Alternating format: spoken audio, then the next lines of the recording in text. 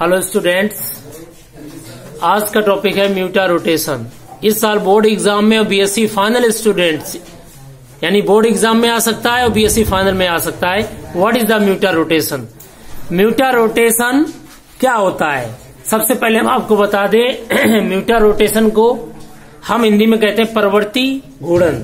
इसका मतलब समझिए ग्लूकोज आपने पढ़ा होगा. ये ग्लूकोज की ओपन स्ट्रक्चर है. ग्लूकोज का फार्मूला क्या होता है? C six H twelve O six अगर आप देखें ग्लूकोज में ओ होता है aldehydic group C H O C H O H O H इधर होता है आपका। अब ध्यान से देखें ओ एच यहाँ पर है। अगर ओ एच हम इधर कर देते, अगर हम ये एल ये देखिए फ़ंक्शन ग्रुप है, इसके बगल में अल्फ़ा कार्बन है। ओ एच हमेशा राइट साइड में है। अगर ओ एच इधर कर देते और एच इधर कर देते तो बन जाता आपका मैनोज जो कि ग्लूकोज का इपीमर होता। ओके अगर हम ओ एच इधर कर देते एच इधर कर देते तो इपीमर बनता, मैनोज, ये फार्मूला ग्लूकोज का है। इसलिए यहाँ पर ओ एच किस साइड में है राइट हैंड साइड में है। फिर देखिए, ग्लूकोज में ओएच फिर इधर आया, फिर दोनों ओएच इस साइड में होते हैं। ये आपको कन्फिग्रेशन ध्यान रखना पड़ेगा, याद रखना पड़ेगा ग्लूकोज का। सी सिक्स एस ट्वेल्व का, नीचे सी एस टू ओएच है। जब ग्लूकोज को पानी में डाल के सोल्यूशन बनाते हैं, उसके बाद में उसमें हम प्लेन आप पोलराइज लाइट डालते हैं। आपने पढ़ा होगा, जैसे हमने ये एक ट्यूब ली है और इस ट्यूब में हमने पीपीएल लाइट डाली, प्लेन आप पोलराइज लाइट समतल ध्रुवित प्रकाश डालते हैं। तो ग्लूकोज का विलियन ग्लूकोज का सोलूशन इस लाइट को या तो राइट में घुमाएगा या लेफ़्ट में घुमाएगा। राइट में घुमाएगा तो डेस्टो रोटेटरी और लेफ़्ट में घुमाएगा तो लीवो रोटेटरी और नहीं घुमाएगा, सीधा बना रहेगा तो ऑप्टिकल इनएक्टिव होगा ग्लूकोज अभी लेकिन ये ग्लूकोज हमारा ऑप्टिकल एक्टिव है प्रकाशी सक्रिय है। क्यों है? देखिए, जब ग्लूकोज को हमने पानी में डाला तो पानी में डालने पर ग्लूकोज की स्ट्रक्चर चैन फॉर्म में आ गई, बले फॉर्म में आ गई। देखिए, ये खुली हुई संरचना ग्लूकोज की है। अब एक नंबर का कार्बन, पाँच नंबर के कार्बन से मिलेगा। एक नंबर का कार्बन में एल्डिहाइडिक ग्रुप है और पाँच नंबर के कार्बन में ओएच ग्रुप लगा है।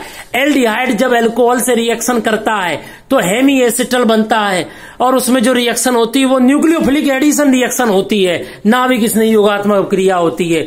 ये देखिए, ये यहाँ पर आएगा माइनस प्लस आएगा। और अगर ध्यान से देखें OH का एच प्लस आयन कहाँ लगेगा? ओ के पास में OH बन जाएगा। तो अब यहाँ पर ओ जो कनेक्ट हो जाएगा सी से देखिए, अगर आप ध्यान से देखें तो इसमें क्या हो गया? साइकिलाइजेशन हो गया, बले बन गया, ये देखिए। यहाँ पर एक नंबर का कार्बन पाँच नंबर के कार्बन से लग गया। और अगर आप ध्यान से देखें, इसमें अल्फ़ा डी ग्लूकोज है। अगर एक नंबर का ओएच इधर है तो ये अल्फ़ा कहलाएगा। और डी तो इसलिए ओएच यहाँ था, नीचे से ओएच इस साइड में था। देखो, डी इसलिए कहते हैं कि ये ओएच इधर है। अगर ओएच इधर होता तो एल होता। तो ये डी ग्लूकोज है, अल्फ़ा डी ग्लूकोज। इसका स्पेसिफिक रोटेशन कितना आया? इसका विशिष्ट घूर्णन 112 डिग्री आया राइट साइड में। तो ये डेस्टो रोटेटरी है। लेकिन इसी में अगर बीटा फॉर्मेशन होती है तो बीटा फॉर्मेशन में ओएच कहा आ जाता है बेटा? ओएच हमारा लेफ़्ट में आ जाता है। एच कहाँ पे आ जाता है? राइट में। बस ये परिवर्तन हो रहा है तो ये बीटा हो गया।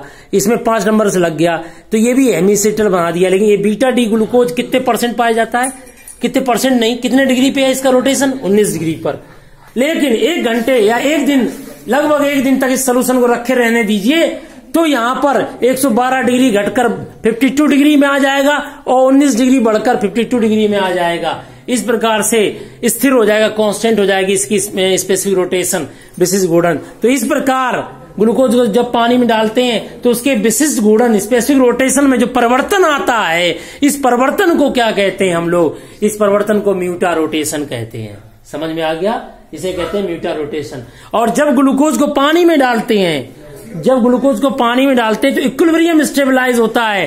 तो ये देखा गया है कि अल्फ़ा ग्लूकोज सैतीस परसेंट इक्विलिब्रियम में होता है और बीटा ग्लूकोज 63 परसेंट होता है और ओपन स्ट्रक्चर मात्र point zero two percent open structure होती है। ओके आज का हमारा टॉपिक था mutarotation. Thank you very much